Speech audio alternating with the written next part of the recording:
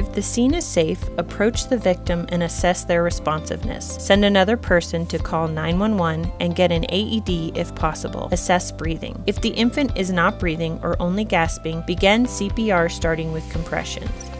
Perform 15 compressions at a rate of 100 to 120 compressions per minute at a depth of at least one third the chest. For infants, this is about one and one half inches. When the AED is brought to scene, begin by turning the device on. Remove any clothing from the victim and apply the AED pads, one on the front of the infant's chest and one on the infant's back.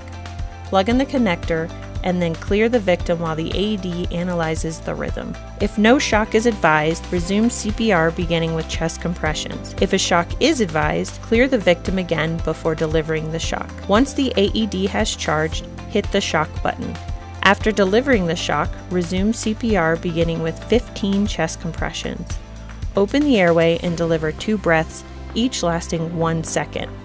Watch for chest rise. Begin again with 15 chest compressions and continue at this ratio of 15 compressions to two breaths until the AED prompts you to stop or further help arrives.